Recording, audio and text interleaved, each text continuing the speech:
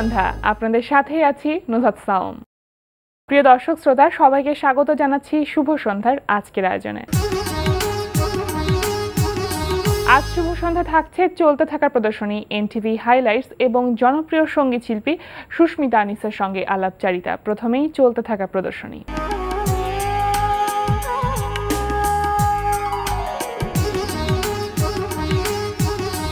শুরুতেই জানিয়ে দিচ্ছি, চলতে থাকা প্রদর্শনী সময়সূচি। আলিয়াস প্রসেসের গ্যালারি জুমে অনুষ্ঠিত হচ্ছে পনেরো জন শিল্পীর যৌথ শিল্পকর্ম প্রদর্শনী অ্যাডহেরেন্স। প্রদর্শনী চলবে আঠাশ সেপ্টেম্বর পর্যন্ত। মোহাম্মদপুর ইকবাল রোডের কলা কেন্দ্রে অনুষ্ঠিত হচ্ছে শিল্পী ফারিহা জেবার একক চিত্রকলা প্রদর্শনী স্টোরি অফ আ মিড প্রতিদিন বিকাল চারটা থেকে রাত আটটা এই সময় প্রদর্শনী চলবে আট অক্টোবর পর্যন্ত। গুলশান রেডিয়াস গ্যালারিতে অনুষ্ঠিত হচ্ছে শিল্পী প্রশান্ত কর্মকার বুদ্ধর একক চিত্রকলা প্রদর্শনী ওপেন ডোর।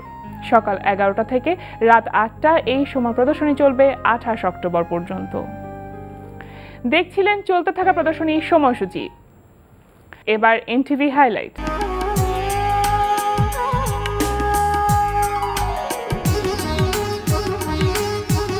জানিয়ে দিচ্ছি কি কি থাকছে এনটিভির আজ রাতের অনুষ্ঠান সূচিতে। সন্ধ্যা ছয়টা পঁয়তাল্লিশ মিনিটে থাকছে হুমায়ুন ফরিদের প্রযোজনায় টুটলি রহমানের উপস্থাপনায় সেলিব্রিটি টক শো চায়ের আড্ডা।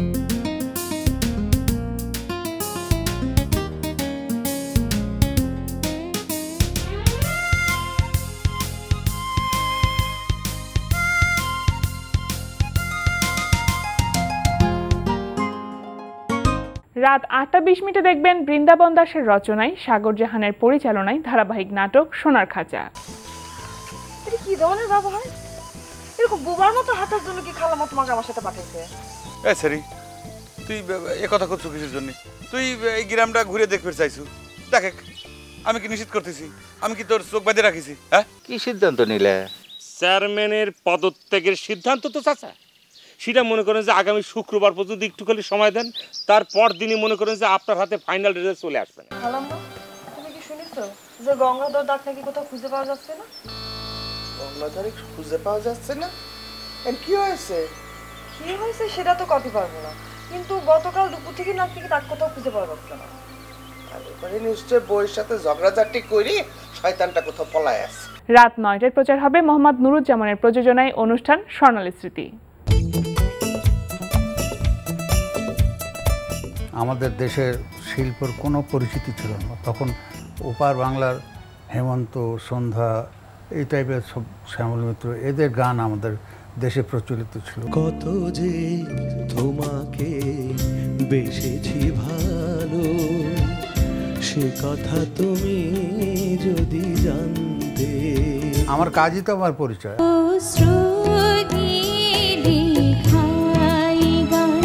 যেন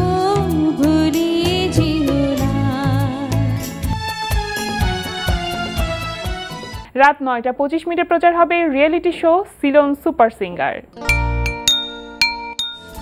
চাঁদের সাথে আমি দেব না তোমার তুলনা। নদীর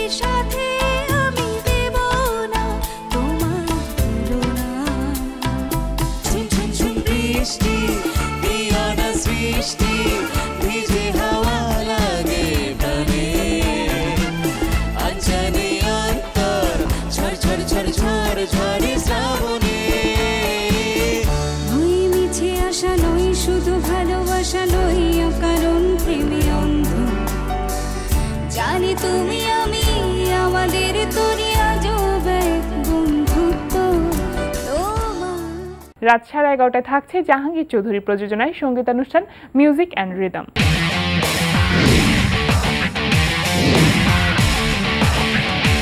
এই ছিল এনটিভির রাতে অনুষ্ঠান মালার সময়সূচি। এবার আলাপচারিতা।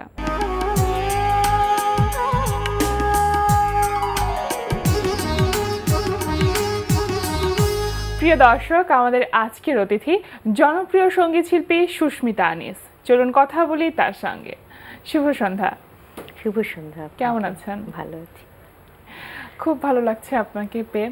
গল্প অনেক রকম গল্প শুনব সাথে দু তিনটা লাইন হয়তো গানেরও শুনব। তো সব কিছু মিলিয়ে আপনার কাছে শুরুতে আমি যেটা জানতে চাই যে সম্প্রতি অর্থাৎ তেরো সেপ্টেম্বর চেনা শহর নামে আপনার একটি গানের অ্যালবাম রিলিজ হয়েছে। সেই অ্যালবামটা সম্পর্কে একটু জানতে চাই। চেনা শহর গানটি অ্যালবামটি প্রায় এক বছর ধরে এটার অ্যারেঞ্জমেন্ট হচ্ছিল। জয় সরকার কলকাতার জয় সরকারের সুরে এবং সংগীত পরিচালনা চারটি গান। আচ্ছা। এবং এখানে ওনার সাথে যখন আমার আলাপ হয় কথা হয় তখন আমি চেয়েছিলাম যেন একটা একটা ব্যালেন্স হয়। যেমন বাংলাদেশি শিল্পী হিসেবে দুজন বাংলাদেশি লিরিসিস্টকে আমি নিলাম আচ্ছা। চুজ করলাম। তা- তা এবং তার পাশাপাশি উনিও কলকাতার শ্রীজাত বন্দ্যোপাধ্যায় ওনাকে নিলেন। বাংলাদেশি গীতিকার রাহুল এবং সুরিত সুফিয়ান ওনাদের দুটো গান। তো এটার সমন্বয়ে চেনা শহর অ্যালবামটি সফট রোমান্টিক বাংলা গানের একটি অ্যালবাম। আচ্ছা মানে আমরা এই অ্যালবামটিতে সফট রোমান্টিক চারটি গানই কি সফট রোমান্টিক গান থাকছে? চারটি গানই রোমান্টিক সং যদি বলি সেটা কোনোটা আপবিট কোনোটা আরেকটু আচ্ছা। ইয়ে, মানে সব রকম উনি চেয়েছিলেন যে একটা আর্টিস্টকে তুলে ধরতে গেলে এটাকে সমন্বয় করে এমন করে সুর দেওয়া যেন এক একটা গান এক এক রকম হয়। আচ্ছা তো সেক্ষেত্রে গানের রেকর্ডিংগুলো কোথায় হয়েছে? কলকাতাতে কলকাতাতেই হয়েছে রেকর্ডিং ওনার ডিরেকশনে উনি ছিলেন আহ, শ্রীজাত দাও ছিলেন। তো খুব সুন্দর একটা এক্সপিরিয়েন্স হলো আমার। কলকাতায় রেকর্ডিং এক বছরের প্রিপারেশন ছিল এই অ্যালবামের জন্য। এক বছর ধরে আসলে কি কি ধরনের প্রিপারেশন নিয়েছেন এই অ্যালবামটির জন্য? আসলে প্রথমত উনি জয় সরকার ভীষণ একজন ব্যস্ত মানুষ। ওনার অনেক মুভির হয় না গান রিলিজ হওয়ার কাজে থাকেন অনেক কিছুতে ব্যস্ত। তো কথাবার্তা বলে তারপরে সেটাকে গড়িয়ে একটা জায়গায় নেওয়া মানে লিরিসিস্টদের গানগুলি জোগাড় করা তারপরে ওনার সাথে আবার একটা সেশন বসা। আমি বিভিন্ন সময় কলকাতায় আমার প্রোগ্রামের জন্য যাওয়া হয়। তখন আবার বসে ওনার সাথে রিহার্সাল রুমে যে কীভাবে এটা হবে। আচ্ছা। তো করতে করতে আসলে অনেক সময় লেগে যায় একটা কাজে।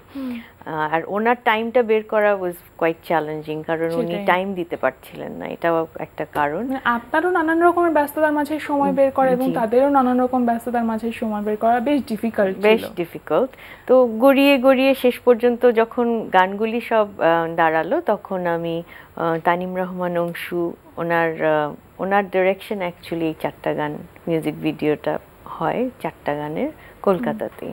প্রায় টানা সপ্তাহখানেক শুটিং হয়। বাহ কেমন লেগেছে কাজ করতে সবকিছু মিলিয়ে? খুব ভালো লেগেছে এবং কলকাতায় অংশু ভাইয়ের একটা বিরাট পোর্শন বলব যে entire production crew was from Kolkata. ওখানে কলকাতার অ্যাক্টর অ্যাক্ট্রেসেস মডেলসরাও ছিল। তো সব কিছু মিলিয়ে মানে আমি কলকাতাকে নতুনভাবে চিনলাম। তেরো সেপ্টেম্বর তো এই অ্যালবামের লঞ্চিং ছিল এবং সেটা কলকাতাতেই হয়েছে। কারা কারা উপস্থিত ছিলেন বা তাদের কাছ থেকে কেমন ধরনের অ্যাপ্রিসিয়েশন পেয়েছেন এই বিষয়গুলো যদি একটু বলতেন। আচ্ছা জয় সরকার ছিলেন শ্রীজাত দাও ছিলেন এবং অংশু ভাই বাংলাদেশ থেকে উনি ফ্লাই করে গেলেন। অন্যান্য দুইজন লিরিসিস্ট যেতে পারেননি তবে আমি এটা ফেসবুক লাইভে দিয়েছিলাম আচ্ছা। তাছাড়া কলকাতার প্রোডাকশন টিম যারা ছিল জড়িত তারা সকলেই ওখানে ছিল। আর কি বলব আমার আসলে ওনাদের সাথে কাজ করে খুব আরাম লেগেছে। মনে হয়েছে যে অনেক দিন ধরে ওনাদেরকে চিনি। তো আমি চেষ্টা করেছি মানে যতখানি সম্ভব ডিরেক্টর যেভাবে গাইড করেছেন আমাকে সেভাবে গানগুলিকে তুলে ধরা। আর শ্রীজাত দাও আমি যেমন গানের প্রতি খুব পার্টিকুলার বক্তব্য কোনো কোনো কথা আমি বলতে ভালো লাগে না। সেটাকে কীভাবে ইনডাইরেক্টলি বলা যায় আরও পোয়েটিক ওয়েতে এক্সপ্রেস করা যায়। তা আমি I work with the lyricist তো আমি ওই- জায়গাটায় আমার মতন করে বানিয়ে নিয়েছি যেটা আমার আচ্ছা। গাইতে ভালো লাগবে। আচ্ছা। শ্রীজাতুরা অনেক এখানে আমি বলব কর্পোরেট করেছেন। তো সব কিছু মিলিয়ে খুব ভালো লেগেছে করে খুব আরাম লেগেছে। আচ্ছা অ্যালবামের নামকরণ কর- করেছেন চেনা শহর। আমার খুব জানতে ইচ্ছা করছে যে চেনা শহর আসলে কোনটাকে বুঝিয়েছে ঢাকাকে নাকি কলকাতাকে? আমি বলব চেনা শহর সকলের জন্যই কিন্তু একটা চেনা শহর একটা হ্যাঁ, হ্যাঁ। মানে রেগুলার পাথ না? যেখান দিয়ে সবাই সব সময় প্রতিদিন যায়। সো চেনা শহর যে যার মতো করে বুঝে নেবে। এখানে যেমন কলকাতায় আমার এই করার পারপাসটা ছিল আসলে অংশু ভাই চারটা গানের প্ল্যানিং করতে গিয়ে উনি বললেন যে কলকাতায় করলে আমি অনেক ডাইভার্স অনেক কিছু পাবো সেই জন্যই উনি চুজ করেছেন। তবে আমি বাংলাদেশি আর্টিস্ট হিসেবে বলব চেনা শহর বাংলাদেশেও একটা হওয়া উচিত। কারণ বাংলাদেশি আর্টিস্ট হিসেবেও এটা হতেই পারে। আর নিজের মনের ইচ্ছেটুকু থাকতেই পারে। হ্যাঁ সবচেয়ে কি যে এটা যৌথ মানে মিউজিক তো একটা বর্ডারলেস জিনিস। ওরকম করে ভাগাভাগি করার বিষয় নয়। সেই জন্যই একটা কেমন জানি একটা মিক্সড একটা অ্যালবাম মানে হ্যাঁ। All the creative people engaged এই জায়গাটা আমার খুব ভালো লেগেছে কাজ করে যে এটা তো মানে কোনো বাধা ধরা কোনো নিয়মের মধ্যে না ছকে বাধা নয়। কোনো একটি শহরের মধ্যে আসলে সীমাবদ্ধ না। না। সমগ্র জাতি সমগ্র দেশের সব শহরে। সব শহরে। কথাগুলো তো ঠিক সেরকমই একদম সবার জন্য প্রযোজ্য এরকম সুন্দর এই চারটি গান নিয়ে একটি অ্যালবাম করেছেন এবং শুধুমাত্র টাইটেল ট্র্যাক যেটি চেনা শহর সেটারই একমাত্র মিউজিক ভিডিও রিলিজ হয়েছে। একটি গানের, হ্যাঁ একটি গানের মিউজিক ভিডিও রিলিজ হয়েছে। তো কেমন রেসপন্স পেয়েছেন সেক্ষেত্রে? ভালোই রেসপন্স পাচ্ছি। আমি আসলে ওভাবে ইউটিউব গিয়ে আমার কত ভিউ হলো ওরকম দেখা হয়ে ওঠে না। আমি এত বেশি কি বলব সামনের দিকে এগোনোর চেষ্টা বা ইয়ে তো আমি ব্যাক করে আবার তাকিয়ে কি কত দেখল এটা আমি অত বেশি খেয়াল রাখি না। তবে আমি ভালো কিছু দেওয়ার জন্য যেটুকু প্রিপারেশন সেটুকু করার চেষ্টা করি। মিউজিক ভিডিওটি কোথায় শুট করা হয়েছে? এটা কি ঢাকাতে নাকি কলকাতাতে কোথায় শুট সম্পূর্ণ মিউজিক প্রোডাকশনটাই কলকাতাতে হয় এবং কলকাতার মেজরিটি প্রোডাকশন ক্রু ছিল কলকাতা মিউজিক ভিডিওতে আপনি আছেন? জি। আচ্ছা যেহেতু এই গানটি নিয়ে এত কথা শুনছি তাহলে এই অ্যালবাম থেকে যে কোনো একটি গান আমরা না হয় এখন শুনি?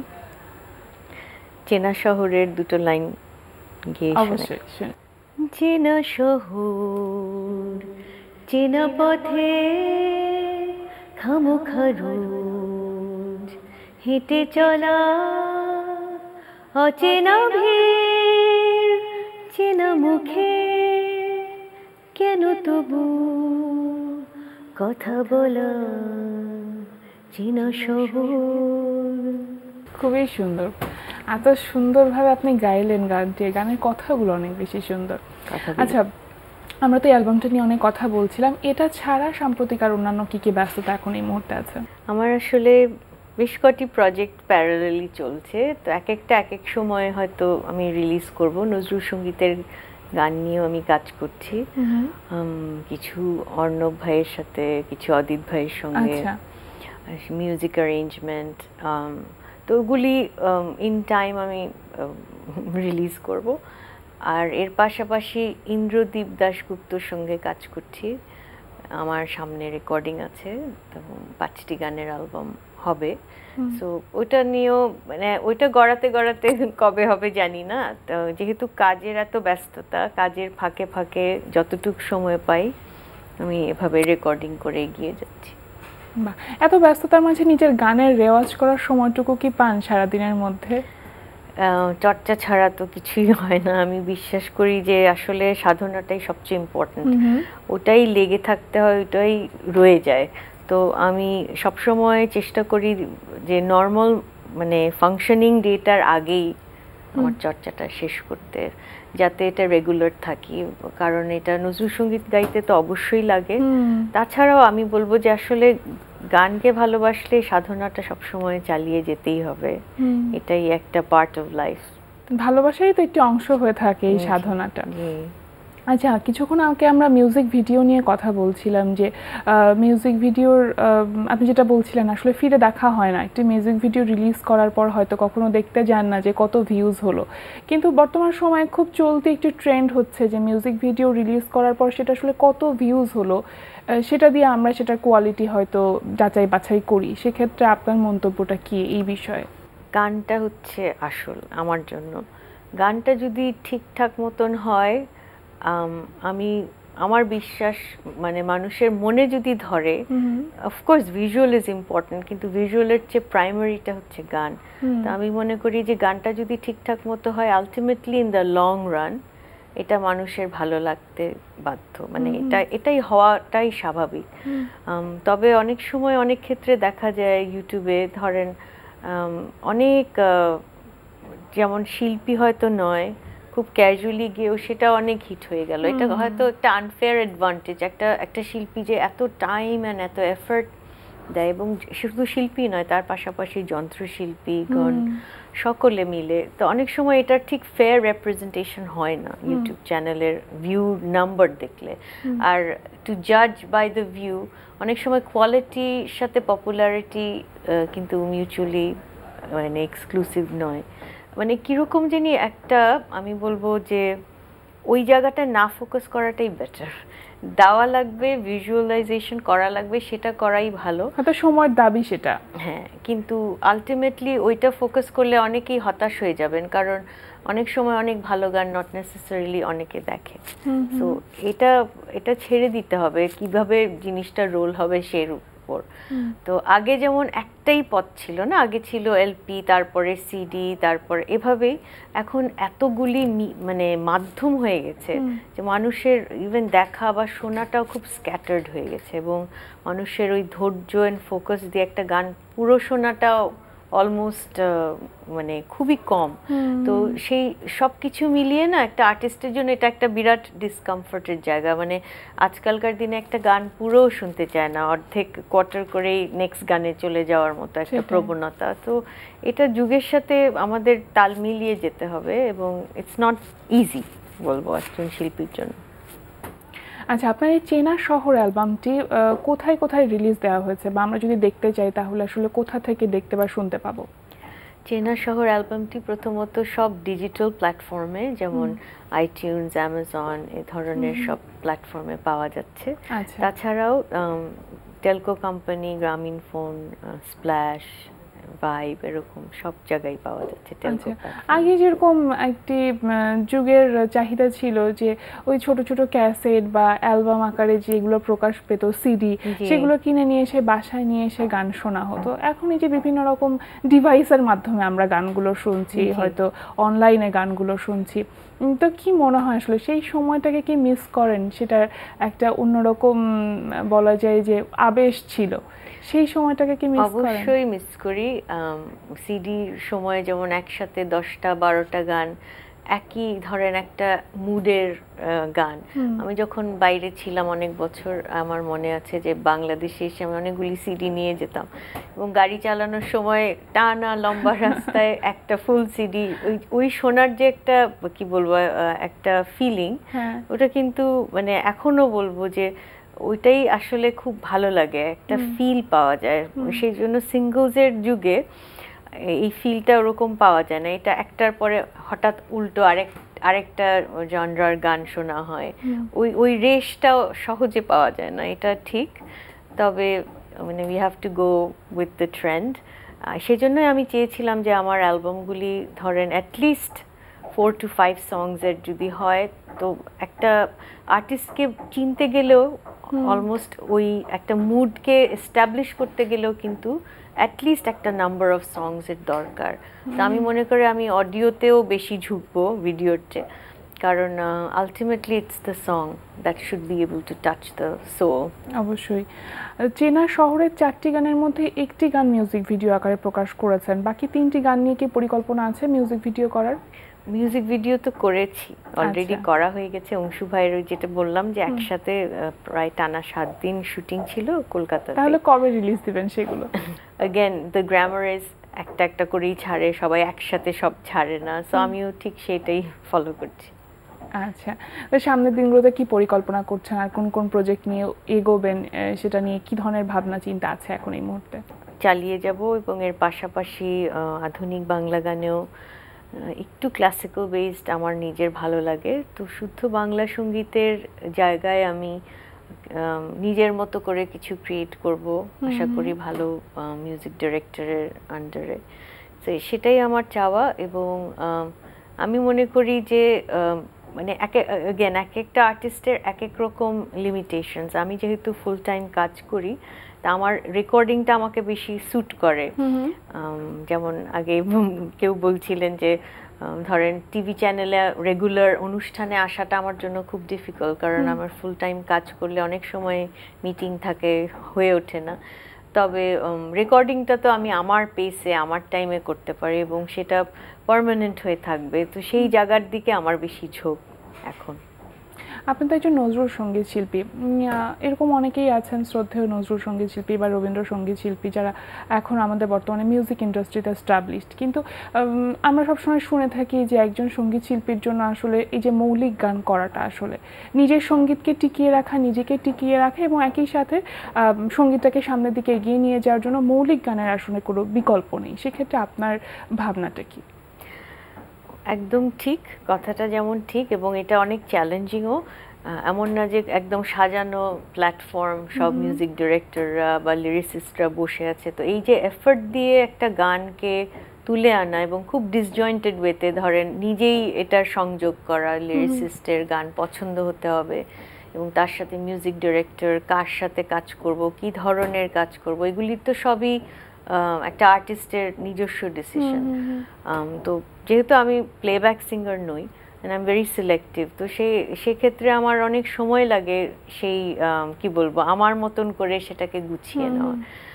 আমি জানি না অন্যদের ব্যাপারে কিন্তু এটা কিন্তু একটা শিল্পীর মানে শিল্পী তো গাইতে পছন্দ করে কিন্তু তার সেটা জোগাড় করে সেটাকে রাইট ভাবে কি বলব রাইট। ওয়েতে এগোনো ইটস নট ইজি ইনফ্যাক্ট আমি বলব গানের চেয়ে অনেক বেশি আনুষঙ্গিক আজকালকার শিল্পীর আনুষঙ্গিক কি বলব সার্চ করতে অনেক বেশি সময় লেগে যায়।